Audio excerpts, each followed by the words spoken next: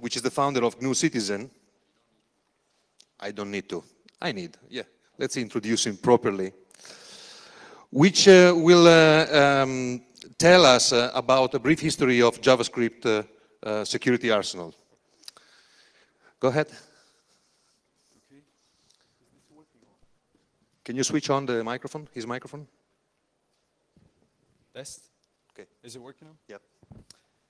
Um, okay. Well, first of all, thank you for coming. Uh, actually, I can't see anybody. It's just this light is too bright for me. Um, well, first of all, before I uh, before starting the, the actual talk, uh, I want to start with this. Uh, and basically, this is a collection of old movie posters. All of them are horror movies. And uh, since you already know what the talk is going to be about, is uh, you know that it's going to be about JavaScript. You might actually be thinking, well, they maybe relate somehow to the fact that JavaScript is a horrible language, and uh, that's why I put all this stuff. Well, although this is true, uh, this talk is not about how horrible it is and uh, all the security stories and uh, concerns around JavaScript. We all love uh, fear mongering. It is actually about that all these uh, movies start with the credits first, and it's going to be very unwise uh, for me if I start this talk without giving the proper credits to everybody who deserves that. Unfortunately, uh, when we talk about history, I need to give credits to a whole lot of people which I can't include in a single slide. Therefore, I use this clever machinery called MD5 to hash some stuff and put that as credits. Um, and this basically includes all kinds of people which I work with and uh, which contributed to this great field of technology and security. Now, since this is a history talk, and there will be some demos, so it's not going to be that boring, um, we need to start with, first of all, uh, going through some of the main enhancements in the web application security space and web, web, web applications in general. So first of all, uh, in the 90s, we start from there because this is when this is the age of the main, like most of the innovation that we still use today. We've got actually three main browsers. Uh, some who actually recognize the first one. So some somebody, how many actually of you recognize the first browser, the first the first icon? Right, a few a few of you. So basically, this is the very first web browser. It's called Mosaic. And then later in that decade, we have Internet Explorer, and Netscape Navigator. And Netscape Navigator is actually based on Mosaic as a browser. But during this era, era of the 90s, we have the main really innovation uh, in terms of browser technology. We have two competing browsers, Internet Explorer and Netscape. And they pretty much developed most of the technologies that we use today. Now, whether this is good or bad, a lot of people speculate about this. Uh, you can't really tell. Uh, but this is the time when JavaScript was invented. This is the time when uh, session management was invented, cookies, uh, storage, the HTTP uh, stack uh, pretty much matured to the state where it's actually usable, and a lot of a lot of actually innovation.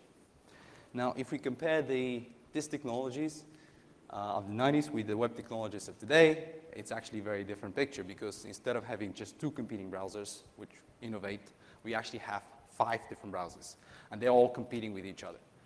Uh, we don't have only uh, one specifications. We actually reach HTML5 as a specification. JavaScript actually has matured quite a bit, and now we're actually iterating like version I don't know what.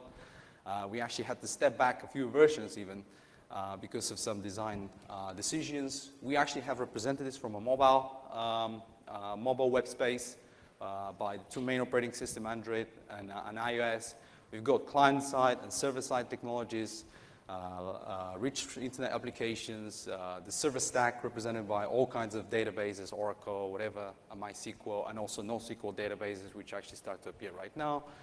representatives of the model view controller, and Java, and whatnot, and of course Angry Birds, because it's everywhere. Now, uh, as you can see, this is pretty much adds to uh, a lot of noise uh, in terms of applications, uh, application security, and just web applications altogether. There is actually too many decisions to take. And actually, this is enhanced by the fact that it's not just about the technology that we put on the server and the client. It's also about the technology that actually links all these things together. And this is pretty much the fabrics of the web. I mean, pretty much there are services right there uh, uh now uh, out there that uh, without which we cannot go any further. They're just basically so integrated into the the, your daily lives and, and the fabrics of the internet, we, we can't just remove it. It just becomes part of it.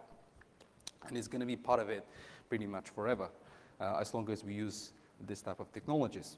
But also, uh, because of all of this, um, the web in general uh, has matured from the simple stack of, uh, of, of, of, the technology provided by two main browsers to a whole industry of, um, of, uh, of technology, which actually is pretty serious about uh, the stuff that they develop. Uh, on today, you can actually, you know, today maybe someone is creating a service which actually will be evaluated at billions of dollars in the very near future. So it is important. It is important also in terms of security, and that's why security actually in a bit has become a little bit of a fashion. So this is actually my own uh, awesome Photoshop skills. Uh, as you can see, I've actually created a cover uh, of a fashion magazine to show how um, sellable uh, it will be if we actually start talking about security in, in the fashion world. Because fashion and security are quite similar in some way. Everything new uh, becomes old and everything old becomes new again. So while today we are looking at the mobile security space uh, and it's a very hot topic, it's going to fade away in the next five, six years, maybe, maybe even longer. Who knows how you know um, deep uh, that um, period will be. Are we going to go back examining the same stuff we were talking about today or even five years ago? Um, a very good picture to illustrate what is happening in the web uh, application security space is the top web hacking techniques, which uh, Jeremiah Grossman was actually responsible kind of putting together, but is actually the work of uh, everybody uh, during the, the last uh, five years, five, six years. And uh, I believe it started from 2007. I'm, I can not find any other reference, but uh, there are actually about 50, 60, even 70 odd issues every year, which are aggregated into a collection. And out of this collection, we actually, uh, the community picks top 10, which are the most interesting or the most, uh, has the most impact. So I'm not going to go through all of them individually one by one, but it is actually very interesting list because uh, when you go through some of this stuff, you will find that not all of the issues uh, on that list are actually resolved. And we're actually researching for new vulnerabilities and we're exploring new things while actually still lagging behind with old stuff that has been reported and hasn't been fixed yet. So I'm going to quickly go through some of them, like 2007, we've got a bunch of them. Uh, I guess the most, most, my favorite is anti-DNS pinning and uh, the Gmail hijacking technique. Uh, 2008 GIFARs, uh, uh, some kind of, all kinds of stuff. clickjacking actually appeared at that time, 2009. we've got even more issues. Um, HPP, which HTTP parameter pollution, which is actually something that even today, actually it's a, it's a big concern, but hasn't been explored much. Uh, 2010, uh, Evercookie, uh, and all kinds of stuff. 2011, we've got more issues. And of course, because we are now in 2012, I can't actually give you the full list because I don't think it's actually ready yet. Is it? No, it's not. So at the end of the year, we're going to have a new list. But what is peculiar about this list is that uh, we've got this, some, this type of a graph. Now, this is actually a pretty small sample from 2007 to 2011.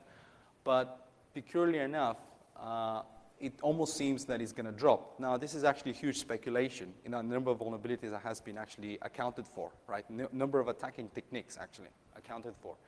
Uh, so my speculation that is going to go even further down. And I think the reason for this, there might be two reasons. The first reason is that maybe web security has uh, matured enough, so we actually fixed all the issues, and uh, this is a good sign, it's going down. Or maybe the second, second reason is perhaps because uh, this is serious business, just like the internet. And uh, web, web vulnerabilities these days actually cost a lot of money. So if you find a generic way to exploit some class of issues, you might actually not be so keen to share this with the whole world because out of this uh, technique, you can potentially find uh, a lot of um, exploits for that will be worth for a bounty program that will actually net you like you know 500 here, 500 there, maybe even a couple of thousand in different places, and uh, therefore make a lot of money. But if we, if we actually skip this for now um, as a speculation, obviously for everybody, this is a, a no-brainer that the e-commerce is actually not safe in a web browser. Uh, it's been actually repeated over and over again on all kinds of slides. Now, since this is a talk about JavaScript, let's talk about JavaScript. Well, not actually Ajax, but just the JavaScript the way it is. And when you actually talk about JavaScript, a lot of people associate JavaScript attacks with one attack only, and that is the attack of cross-site scripting, which is actually trivial attack. Uh, you basically uh, find a injection flaw in a website or something else. You send it to a victim via some kind of a phishing campaign or something else, or just fool the victim to click on something and it gets executed, you steal the session. A lot of people actually associate the XSS attack with the Alert 1 attack, which is a pretty good name for it because it is actually quite simplistic.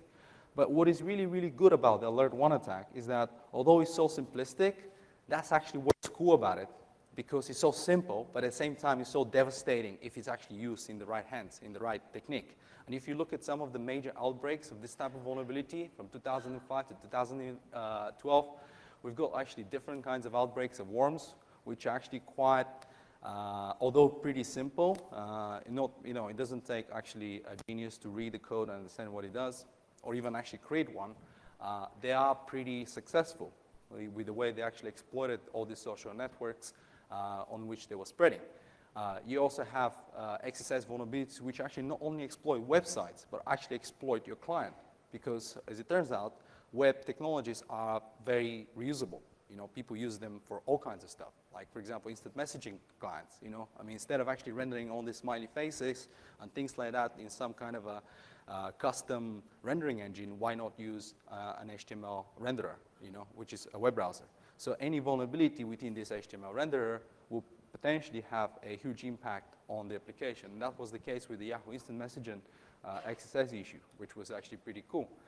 Uh, we've got also pretty much Twitter. Uh, we've got Apache actually being compromised by an XSS issue, which is pretty interesting. Actually, it was an XSS issue in the Jira uh, application they were using um, somebody actually fooled an administrator to visit the page which was already infected, steal the session management, the session, uh, session tokens from the user, you know, log in as that user and propagate further. It actually started with simple XSS attack. Uh, we also have Obama XSS, and actually this is quite interesting because uh, in 2011 there was um, an entry, I forgot from whom, so I'm sorry I'm not I'm crediting that person specifically, but it was an entry about uh, how someone could have won the Pwn2Own contest, which uh, I think somebody actually netted uh, $60,000 this morning uh, with a simple XSS issue, right? Somebody actually found a way to exploit, uh, to actually take an XSS issue to compromise an entire device. And um, in 2012, we actually got more like Gmail stored XSS and stuff like this. Now, this is just basically an illustration that although XSS issues are pretty simple, uh, they're actually quite prolific with the impact. Uh, not everywhere, uh, because uh, what is peculiar about them, they're simple to find, simple to exploit, very hard to come up with a, with a good strategy to uh, abuse them, right, and use them in the right way. This is actually where actually this uh, additional knowledge is required. Now, for this talk, uh, when we talk about XSS, we also talk about what can we do with it. And one thing is, uh, for example, we can potentially steal the session uh, management. We could actually uh, create worms. We could do all kinds of stuff. But the inspiration for this talk in particular came from uh, three main sources, and I'll start with them uh, one by one. The first source was Jikto. How many of you have heard of Jikto? No? No one? Just one person? I'm pretty sure two. I'm not counting Jeremiah. So uh, that's uh, not Jikto. That's not, this guy's nickname is not Jikto. although that would be pretty cool name, nickname. that's Billy Hoffman, and he came up with something called Jikto, which comes from Nikto, but written in JavaScript. And it was actually very, very basic tool, which uh, works in the exact same way as the, as the uh, Nikto uh, scanner, but actually is only using client-side technologies. And it works by, uh, for example, a victim arrives on, a, on a, some kind of a compromised page, and then you can launch other attacks against other service. Pretty simple, so use them as a proxy. The second inspiration uh, for uh, this presentation uh, came from the Samson fella. Uh, and it's actually a tool called Attack API, which uh, I developed. Um, an Attack API is basically a collection of different techniques which we can use uh, after exploiting cross-site scripting vulnerability. So for example, not only we can just hijack the session, right? In some cases, we might actually not be able to do that, depending on, uh, for example, what restrictions we have on the session management. But maybe we can, we can encapsulate the user within the same boundaries of the currently exploited session. So even though they actually navigate, they try to navigate away from the current page, they actually stays in the page. So if they're actually within the same domain, we can simulate some kind of AJAX behavior within the application. So the page itself does not refresh, and everything they do will be monitored. Uh, so you can come up with all kinds of other techniques like keylogging or whatever, you know, whatever they do on the page can be re potentially recorded and, uh, and of course, uh, replayed or do whatever. And the last uh, inspiration for this was the MySpace worm for this particular presentation. And the MySpace worm uh, for those of you who know it, is basic, for those of you who don't know this, is basically um, um, a cross-scripting worm which actually hit uh, the internet in, uh, well, MySpace network in 2005 and uh, basically showed the world that it's actually quite simple to take this type of vulnerability and make them actually quite, quite, uh, quite uh, evil in some ways. Uh, what was actually cooler than the MySpace worm was the Facebook worm, which actually hit Facebook after MySpace. And uh, instead of, uh, do you actually know what's the result of this worm? What exactly it did? You guys know what exactly the MySpace worm did on the MySpace network? Apart from actually propagating across all the profiles. It was actually quite simple. It was, it was making uh, this guy, Sammy, um, who wrote it, uh, uh, he was making, he was adding himself to the friends list, I believe, and then he, you know, you could actually make him uh, a hero or something like this. Uh, I don't use MySpace, so I don't know. Uh, but uh, essentially, at some point, I believe he had actually more friends than the guy who made MySpace, like Tom. Um, so that was pretty cool. But actually, what was cooler, that after this MySpace worm, there was another worm on Facebook, which actually converted all the Facebook pages into MySpace pages, which was even better, you know, because actually they were restyled as MySpace pages. Now, from these uh, three inspirations, uh, I kind of, uh, over the years, I came up with uh, three evil plans and uh, they illustrate different methods of attack using client-side technologies and primarily using JavaScript itself. Now, the first evil plan was to use the victim browser to attack other web targets. It's a pretty simple technology. We've got the attacker, the attacker attacks the victim some way, and then the victim is used as a proxy to attack other, other targets, other nodes on uh, maybe the same network or maybe on other networks. Uh, a good illustration of this type of attack is, uh, is the Jikto, as I talked earlier, right? It's only one.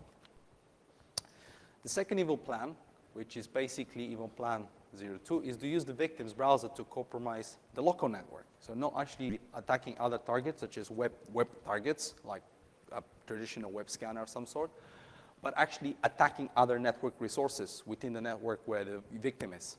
Now, this is actually my favorite one. This is where I spend most of the time uh, researching things. And from this evil plan, uh, there were a bunch of attacks which were designed over the years. And I don't think it's actually as explored as it should be. So there is actually there is a further um, room for improvement. From, from, here, actually, we start with some very basic stuff, such as uh, there was a port scanner. You could actually write port scanner at some point. I'm not quite sure if it's still possible you could actually write something that will allow you to brute force, uh, for example, credentials, uh, basic, well, the basic authentication credentials that you may store uh, within the browser. Uh, and my favorite actually is attacking UPnP, which um, I'm not sure how many of you heard of UPnP before. Anyone? So UPnP is, uh, stands for Universal Plug and Play, and actually it's a technology which is uh, basically everywhere. You, you've got it. If you have a home router, you've got it. It's running there. Uh, and the purpose of UPnP is for devices to talk to each other, but uh, using some sort of a common protocol. And in fact, the common protocol is a stack of, of uh, five different uh, technologies, starting with, uh, with, uh, with technology based on multicasting, multicast networks and uh, ending with uh, a SOAP, SOAP basically SOAP messages over HTTP, or TCP, or HTTP via UDP. Most commonly, they use HTTP via TCP. So it's a very, very simple protocol. You send a web request to a server, and you can actually make that server do stuff. Uh, usually, UPnP is used for uh, such as when you actually need to use BitTorrent or you need to use, uh, I'm not sure if Skype does this, but maybe it does. But anything that requires for the program to have a publicly facing port. Now, nobody will ask you to go and actually open ports manually on your router because not, most people wouldn't be able to do that, to do port forwarding on the router. So they actually use UPnP to do this stuff for you.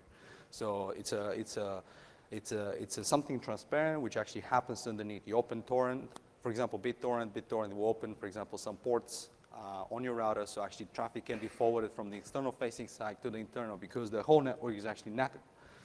Uh, and therefore, there's no, there's no direct connection.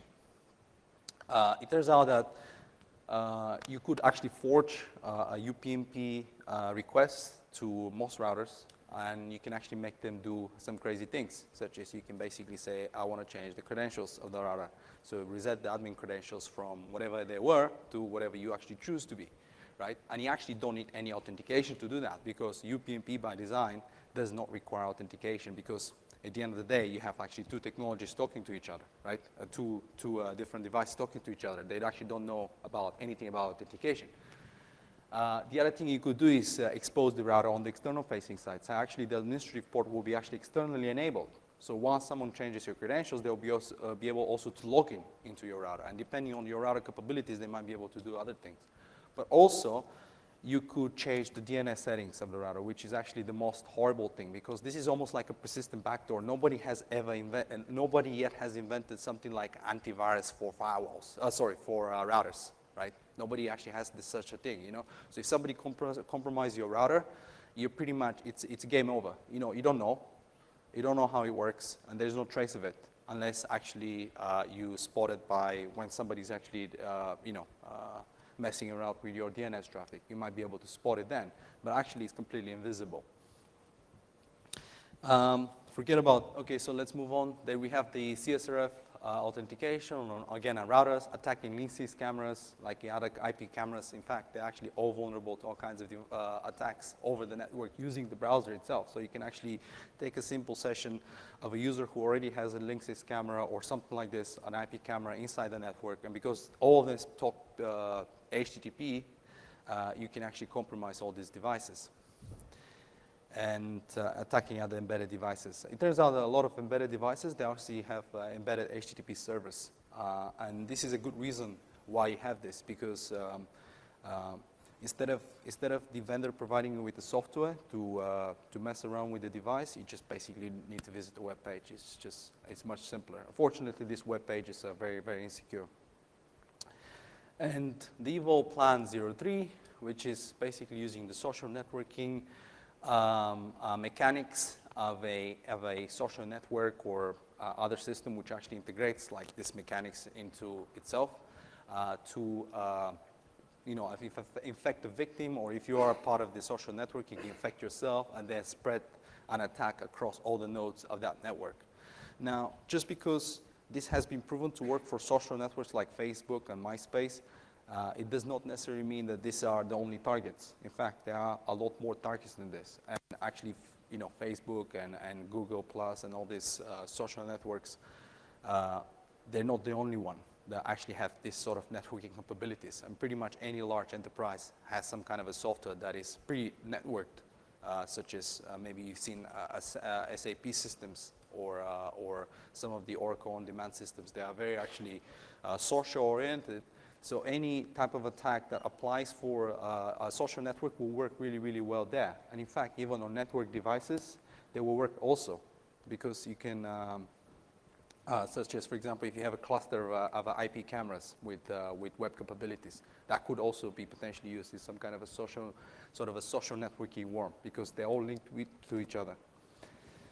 So the results of Evil Plan 03 is that, yes, we can and we've proven that uh, over time every single social network has been compromised uh, at some point uh, by social networking worm, and in the future there will be even more of this, I imagine.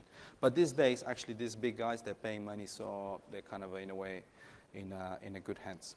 So not that many people are willing just to disclose the vulnerability, they can just get paid for it. But there is also this, the bonus evil plan which is essentially use the victim's browser to compromise the system itself. And actually, this bonus evil plan actually came from a talk that I had, uh, a discussion that I had uh, with someone who works for a um, uh, antivirus vendor. So we were talking about uh, uh, malware heuristics, because this is basically uh, the technology that we are betting on that will actually do a better detection of malware in the future. And the way malware heuristics works is, is you know, in a very simple words, it's, it's a, it's a score, scorecard, basically. So if you, if you take a piece of uh, malware, the more malicious things it does, the higher score it will get, and based on that score, uh, we can determine whether it's malicious or not. It turns out that only works, this thing works only for a on a process by process basis. And sometimes the antivirus does not have any idea about the whole system altogether. So if we take, let's say, a malware attack and we break it down to smaller attacks executing from different origins of an operating system, such as, for example, maybe a malware, there is one component which is looking very malware-ish, let's say does, I don't know, DLL injection into Internet Explorer or something like this, which could be potentially to say, okay, that's malicious, although a lot of uh, normal software does that sort of stuff, uh, especially HP uh, software. Uh, maybe at that point, actually, a JavaScript is executed from Internet Explorer to actually perform the second stage of a something, like an infection or something else. By actually breaking the attack into smaller components, uh, it becomes very, very difficult to do heuristics because uh, together, all of these uh, components uh, of the operating system will score very little, but all, when you combine them together, they'll actually reach a very high score, which is definitely seems to be some kind of a, a malware activity but actually very, very difficult to detect. For that, actually you need a system which monitors everything and keeps uh, a history of every single event uh, on your computer. And as you can imagine, this will become very, very slow unless, unless we, uh, uh maybe in a couple of years' time when the Moore law reaches the stage where we can run uh, whatever virtualization we want and it's not going to take any, any, uh, any time, then at that point this technology will become more sensible. So here's some examples of this bonus evil plan attacking browsers, the browser Chrome, uh, embedding, for example, uh, malicious uh, extensions into, into, the, into uh, modern browsers, or embedding some kind of other um, extension component. Uh, you'll be surprised how many applications actually use JavaScript for things, uh, and you never heard of before. Like, it's not just the browser itself, it's also um, PDF readers. It's also like instant messaging clients. It's also stuff like Photoshop itself. Actually, you can script it with JavaScript. Uh, uh, there are actually all kinds of things that these days execute JavaScript. And the reason for this, especially on Windows, is because Windows comes with one component which is actually a key to all of this, and it's called JScript. And JScript is very, very similar to JavaScript. It's almost identical with some kind of a semantic differences in some areas. But typically, you can write JavaScript code, and it will execute the same way as a JScript code. And JScript, essentially via the W scripting host, uh, the Windows scripting host, uh, you can actually do anything on the system. So Windows, for example, exports uh, primitives such as like .gs files are actually executable. .hta files, HTML applications are also executable. HTML applications are effectively HTML pages, but instead of saying .html, they just say .hta. It's a, it's a very simple. The only problem is that HTA executes with a, very, with a lot more privileges than HTML applications. HTA application can actually do whatever on the system. And, uh, and so on. So talking about tools, uh, when I started this uh, journey researching some of these uh, client-side issues, um, I was thinking at that time about tools, but actually the browser technology was not mature enough to allow you to write a very, very interesting tools. And um, in fact, today, for client-side exploitation, there um, a couple of tools uh, which I want to mention. The first one is called BeEF, which is probably uh, um, the best representative of uh, what a client-side uh, exploitation toolkit should look like. But to me, it's like over, over uh, engineered in some ways. So BeEF is a simple framework which allows you to kind of take advantage of XSS issues. The problem with this is because it almost acts the same way as Metasploit. You kind of create sessions uh, to, um, to, for example, let's say you, you find an XSS attack and then you, you know, you, the victim visits that page. At that time, you might be able to execute some stuff, right? Uh, BeEF allows you to actually set this stuff. Um, so, so it's actually quite easy to come up with some kind of a generic attack or something like this. Uh, and it has like an uh, interactive sort of session system where you can uh, keep exploiting the same user if it actually comes to a different page and stuff like this. But uh, generally, it's um, I don't know I don't find it that easy to work with. Of course, we've got Metasploit, which is uh, has a, a, you know a lot a whole range of client-side exploits, but all these exploits are actually browser bugs. So they're actually proper bugs. We actually you can get some kind of remote code execution on the browser. Now I'm not saying they're bad. Uh, I mean, in fact, they are awesome, you know. Uh, I mean, this exploit will actually take you a lot further than any of the stuff that I was talking about earlier. But then what if the system is, is pretty secure, right? What if you have something like a Google Chrome web browser, which is actually pretty decent web browser, right? And browsers actually catching up to become better uh, in some respect. And there is also these tools, such as like uh, uh, SET, which is the um, social engineering toolkit, some other tools which are kind of a very, very similar, uh, XSF, uh, XSS, Westploit, and so on and so forth. And they are essentially what is known as a XSS attack proxies. But I've got an another idea. And the idea is actually to use the web browser itself and the capabilities that provide the web browser uh, to do security testing for offensive and defensive purposes. Now, I've outgrown a little bit the offensive side of things, so I'm actually now thinking in terms of more of defending. But it turns out that all of these browsers actually have enough technology packed into itself to be able to create a very, very advanced applications, uh, which will allow you to do things uh, not possible uh, a couple of years ago. There is also another thing which I wanted to do is to actually put uh, a complete uh, toolkit of security tools without actually rooting uh, the box uh, on a Google Chrome notebook. And as you, some of you may know, Google Chrome notebook uh, runs just the Chrome web browser. Well, it has an operating system underneath. It's a Linux, so you can actually modify it if you, um, it's, it's, not, it's not a problem, but it's actually designed to run as just a, a web browser, right?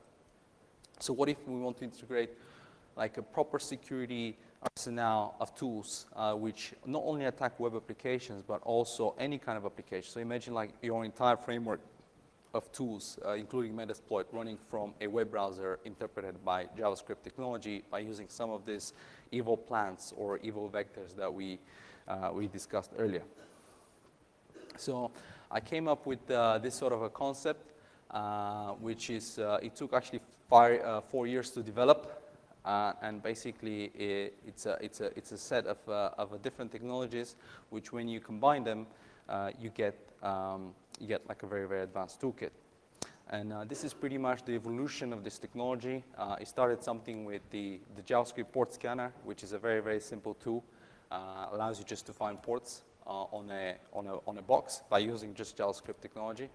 Uh, then he moved on to Attack API, which, as I explained, was just a collection of different uh, techniques uh, you can use post cross-scripting exploitation. We've got something called now the suite, which is basically a set of tools uh, only concentrating on web application security, uh, but they allow you to do all kinds of cool stuff.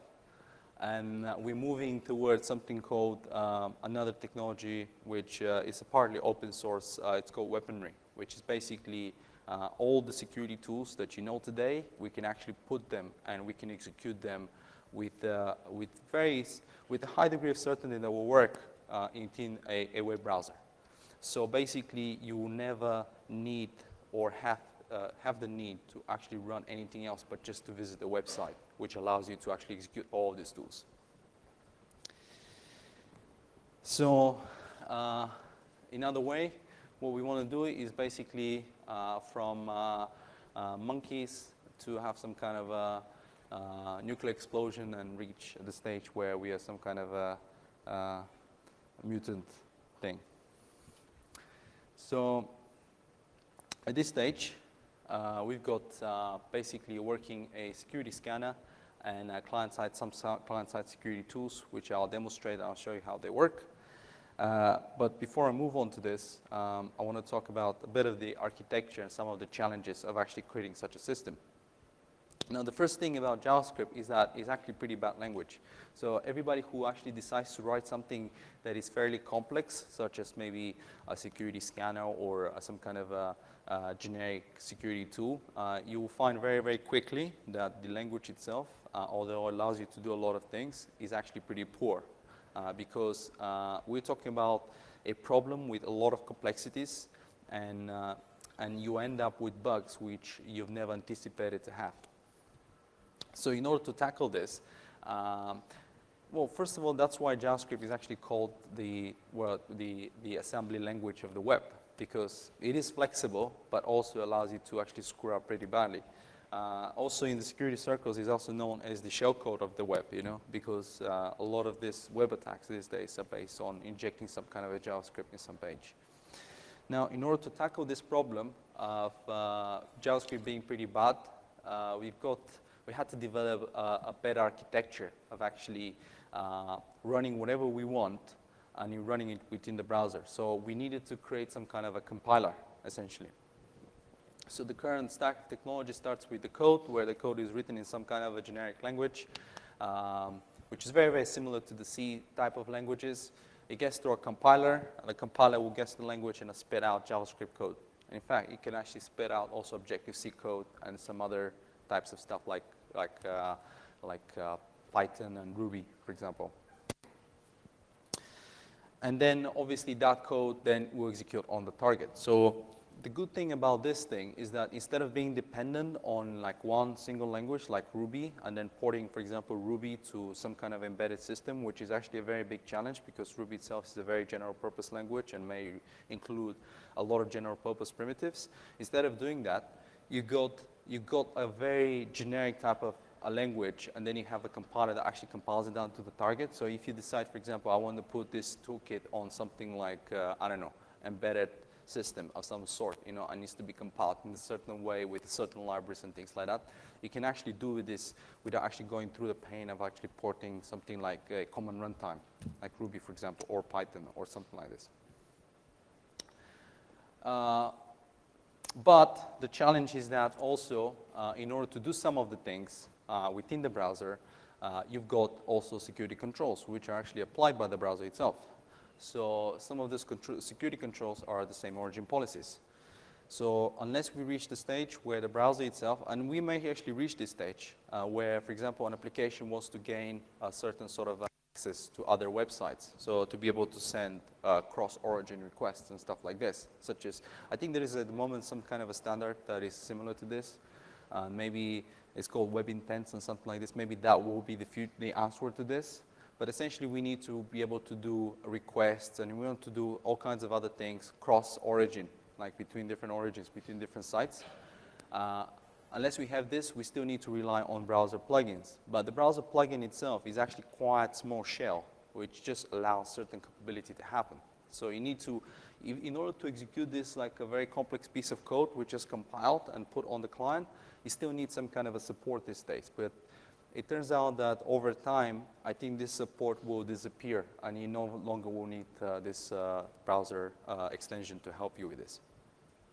So now talking about this, uh, I want to show you uh, a set of uh, sort of different kind of examples just to illustrate what is actually possible today with just a generic compiler to JavaScript and an engine written entirely in this custom language that is compiled to JavaScript.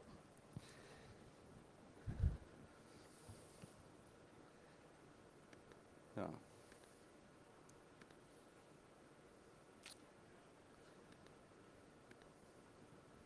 So basically, this is the set of uh, tools. Uh, I wanna I wanna show you some of them. Now, the first one, which is actually my favorite, which uh, uh it was created quite recently, is basically simulate something similar to a, a, a web proxy, what a web proxy will do, but in fact, without actually having a proxy installed. So what this tool does is basically capturing just traffic and it's just displaying it to the user, right? So now we've got this tool running uh, in one frame, right? And if I open another one, I'm just typing some stuff, I don't know.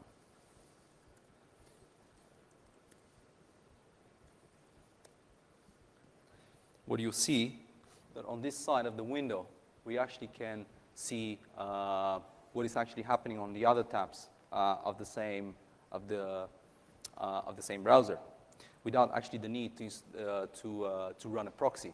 Now, these are actually all the requests which are actually captured by when I was typing Google. And in order to execute this, in, uh, actually in order to do this, uh, it, is, it is kind of based on two things. First of all, it's most of the code is actually, um, it's, uh, it's basically JavaScript.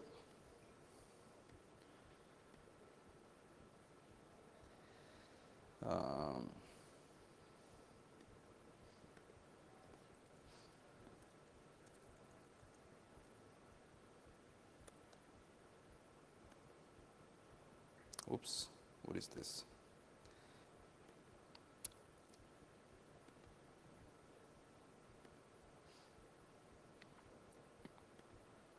So most of it is actually compiled to JavaScript. It's actually, as you can see, it's a huge piece of code. It's like a lot of stuff going on. Like,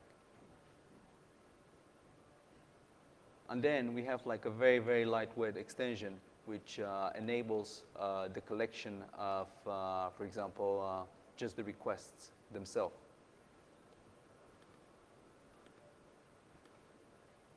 Right? Now, what we also can do with this uh, type of tools is to run a full scanner, for example, to actually scan for vulnerabilities. Now, this is actually going into this uh, Jikto area where we actually run a scan against the system, right? Now, obviously, this is done for pen testing purposes, but nothing stops from an attacker to actually do something similar within a browser.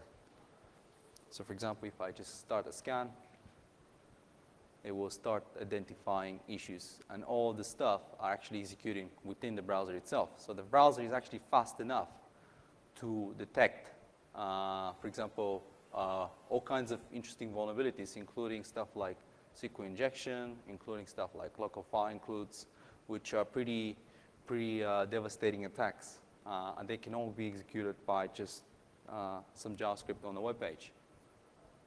Cross-site scripting, and in fact, it's actually quite accurate in that respect. What you also can do, since we can actually manipulate requests and things like that, we can actually also uh, mess around with these requests. So for example, if I want to just basically mess around with this, I can just basically get it and execute it. And pretty much everybody who has any, any uh, experience with uh, an attack proxy like ZAP or, uh, or Burp, uh, you, you will be familiar with that type of interface. So we can actually take a request, we can modify it, we can send it to the server, we get response back, and then we can do all kinds of things. The only, the only advantage here is that while these proxies um, are pretty cool, I mean, they are very generic because not only you can capture the traffic from web browsers, you can also capture the traffic from other applications. Uh, although they're pretty cool, they actually lack the context of each request. They don't know, for example, why a certain request happened and where it actually origina originated from. It just knows that there is a request from the browser and it just proxies the request and you lose all this metadata which is associated with the request, such as you don't know if this is unless you're expecting the headers, you might actually not know that this is XML HTTP request. You may, uh, for example, see some kind of a WebSocket, but you actually wouldn't know what is this for. Uh, and most of the proxies wouldn't be able to tell what is a WebSocket. Uh, in this case, because we are running within the browser, we actually have all this metadata in front of us already. So we know why each request happened, we know where it came from, and why it happened. Uh, did it happen because the user pressed the button? Did it happen because uh, maybe there is a WebSocket? Is it part of a game or something? So it actually has a lot of metadata which actually can help us during a pen test. And uh, last but not least, I want to show you, uh, for example, that we can uh, even hunt down for, actually this is not the last example, this is another one. We can actually hunt down for uh, individual issues. So for example, if you're looking for one specific vulnerability on a website or, or as part of some kind of application, we can actually execute very, very fast tests. Like, and there you go. You know, it doesn't take longer than you know, most of the time, for example, if you want to use this type of attack, whether it's a client side by actually compromising via XSS or something like this, uh, or maybe as a part of a pen test, it doesn't take longer than a couple of seconds to actually be able to figure out if something is vulnerable or not. Um, such as, for example, this, which is a pretty cool example. Uh, if I take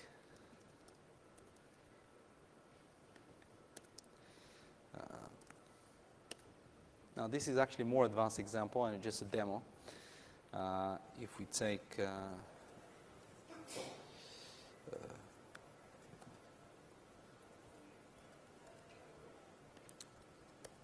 this uh, type of application, and if I scan it very quickly, I'll be able to tell that there is actually a vulnerability on that application and with one single click of a button, we can actually have something similar to what Metasploit has, right? Which is an interactive shell. So basically, all happens within the browser itself. Uh, not only not only we can just uh, look for vulnerabilities, but we can also uh, actively exploit them and take advantage of them. And in fact, it's actually quite possible to take uh, a tool like Metasploit and uh, and port it. I mean, you, you wouldn't be able to take Metasploit itself because it's written in Ruby unless you write some kind of a Ruby virtual machine in JavaScript, which is actually possible, but it will be really, really slow. But uh, it is actually possible to rewrite some of the core principles of Metasploit and actually create them and execute them from this type of environment. And so this is um, that's a huge advantage, you know, not only uh, in terms of, um, let's say, if you look at it from exploitation point of view, but also from pen testing point of view, it's actually quite quite a big deal. Some other stuff that we can do, uh, basically, we can have uh, more advanced type of, uh, well, actually, forget about this one. Uh, we can actually have uh, more advanced types of uh, um, exploits that actually rely only on, on client-side technology. So for example, this is, this is just a simple example of how we can uh, take something like uh, an XSS issue and we can convert it to something more powerful. So instead of just uh, collecting session identifiers and things like that, we can potentially execute all kinds of interactive attacks uh, with, with that XSS issue. Now, the way this thing works is just starts with injecting some kind of a, uh, payload, which needs to be injected into the victim session. So in this case, I can take, uh, I'll just uh, open another tab because it's just simpler.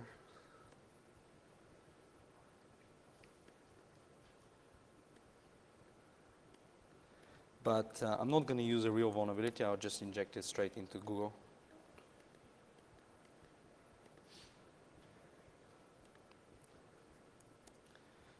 But let's say this uh, vulnerability was injected via XSS or maybe stored XSS on a social network via some kind of a uh, store vulnerability. But at this stage, you got a similar sort of mechanism uh, which BeEF has, uh, but slightly more advanced in some ways because uh, from here, we have actually the typical sort of shell environment where we can have all kinds of tools. So if we do something like, uh, for example, it's a sim now here it's like uh, nothing is happening, but if I say this, deface, and it just, uh, you can basically inject uh, other foreign code into that uh, other application. the good thing is that we also can inject whatever we want because we have interactive sort of even syntax highlighting editor. So if you want to do something like, you know, whatever, and just say, push that, and you got it like uh, uh, running. So we can actually develop all kinds of stuff uh, and actually send them to this uh, distinct foreign sessions. Now, obviously, now this is quite simple. But if we combine this stuff with the power of all the other tools which I showed you, uh, which we can now, now we can design a very, very complex types of attacks. Uh, and sometimes, in some cases, this type of attacks actually don't require this type of special relationship between the browser and extension in order to work. Sometimes it's just possible to do them blindly, uh, which is that, that's why uh, there is another tool here which actually allow you to compose uh, request forgeries.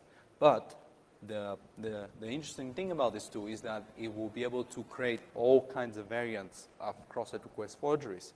So for example, if you want to upload a file, there is not really a direct way of doing that in, uh, in, by using forms because the user has to go and click on a file. So we need to actually construct the file in memory, sort of, so to speak, right? Uh, you might be able to do that with XML HTTP requests, but there are also same origin policies which apply to this. Uh, but as a solution, you can also construct this stuff uh, as, as forms. So for example, this tool uh, can actually take any of those requests and convert them to the proper browser control, which you can actually use to deliver those type of attacks to a victim. So for example, if you're attacking, let's say, a home router, and you want to actually send a specific type of request to that home router to work, you need to encode uh, your request also pretty much like a form and then submit the request as a form because otherwise it won't work. No, you can't use like XML HTTP requests and stuff like this. So this tool is basically a demonstration that that is uh, absolutely possible. And uh,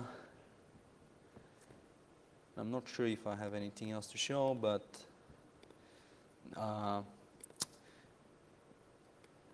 this, this one is essentially showing you how you can just take uh, like uh, a lot of uh, complex type of payloads and maybe encode them, decode them, stuff like this. It's basically like the same stuff you might see in Burp or Zap proxy, but the difference is that instead of having uh, a list of uh, commands that you can execute on a payload, you actually have a whole uh, programming environment uh, which is um, a lot more powerful because uh, we can do all kinds of crazy things.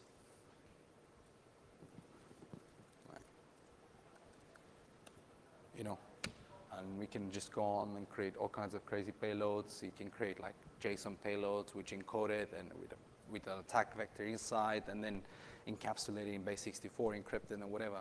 Uh, the whole scenario of how you want to do this uh, can be just recreated and then you can just execute it every time you need something like this. So really the point of this is that uh, the JavaScript itself uh, not only, it's not a toy language. I mean, it is pretty stupid language with a lot of stupid bugs uh, and stupid things that it does, but actually it's not a toy language. And you can take it and you can create very, very advanced tools, uh, not only uh, that affect or can be used to, to pen test uh, for web vulnerabilities, but also you can do all kinds of other stuff, networking as well. Um, just to finish the slides, um, uh, I just need to send some credits to people who actually helped me out with uh, some of the, collecting some of the research which I presented earlier, and also some of the pictures which I included on those slides. And of course, uh, in 2008, uh, after a conference in Poland, we started, uh, um, uh, me and some, of, some people from my group, we started doing something called human exploits, which is pictures from people from the conference. And I'll just show you this pen testing in action. And with that, I want to wrap the presentation and ask for questions, if anyone has any. Questions?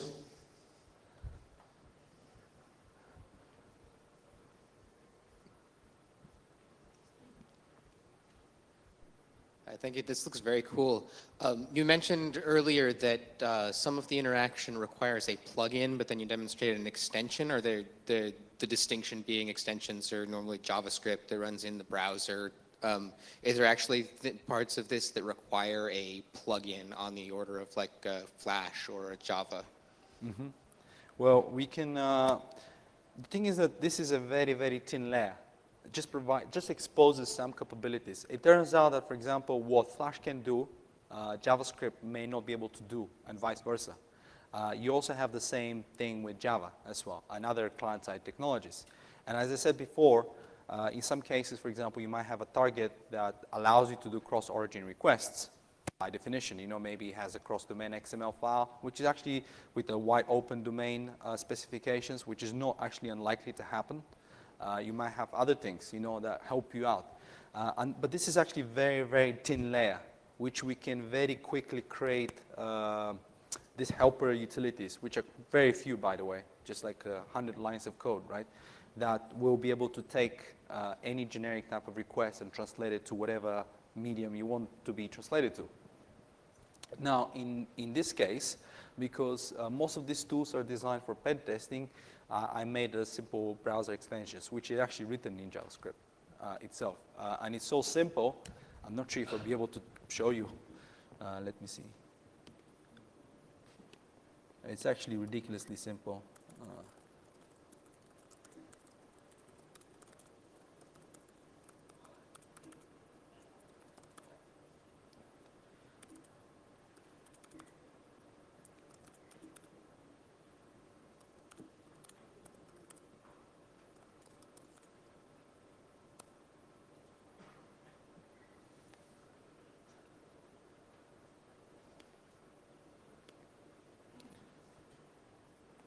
That's not a good. Uh,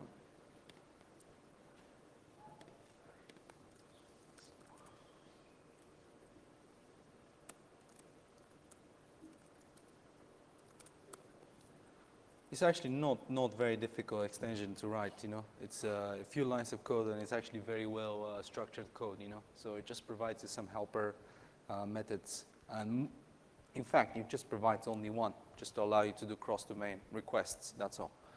Uh, but you can do, you can do whatever, really.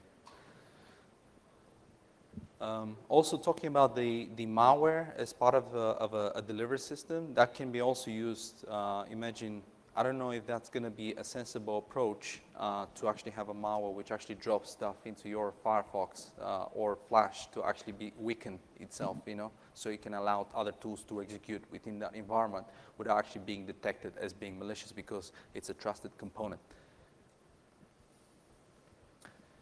Next Uh, question. Um, yeah, so I was wondering, how would like uh, an initial user's browser be compromised? So, for example, with BeEF, they just need to run the BeEF hook and they're hooked, and then you can send them JavaScript. Um, I was just wondering, because you, you kept talking about the extension, would the user need to install the extension?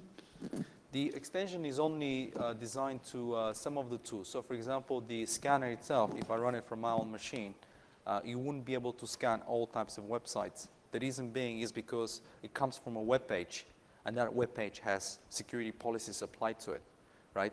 So you wouldn't be able to execute. So that's why you need this helper extension to be able to do that. Now, if you're talking about in terms of a, an actual attack that you want to construct attacking someone, then uh, you can take the same framework to construct the attack. So it can be as complex as it can get, right? So if you think about something like uh, a multi-stage type of attack, right, where you actually want to compromise a server via some kind of a, a vulnerability, uh, like even buffer overflow and install something else on the top of this. And you, you actually have this sort of a staging environment. You don't need to go and launch Metasploit and actually create all this like network stuff, you know, to be able to work. You can just execute the whole thing from a web browser. And all we need is just a delivery mechanism to send the request from point A to point B. Now, if there are any controls that uh, disallow you to do that, such as the same origin policies, you can still do it blindly via form or something like this, you know, which is known as, as a CSRF attack.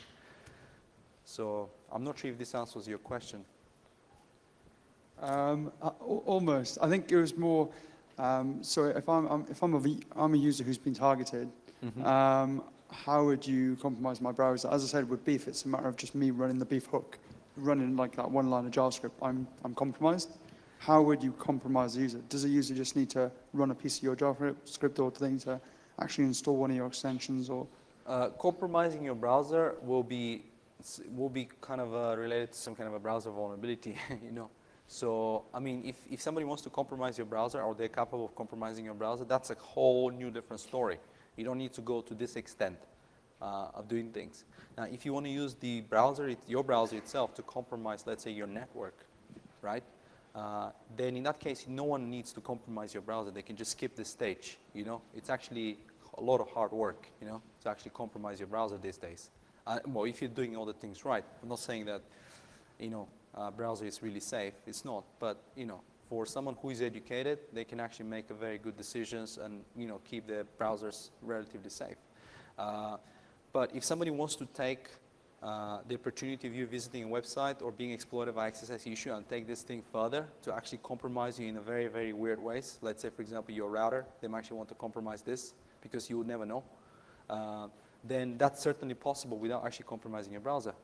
And uh, as I said, this type of attack, uh, which could be very simple, you can actually make it very complex and very uh, elaborate, almost to the extent you see with typical malware spreading. You know, so you can make it like very, very cool type of attack.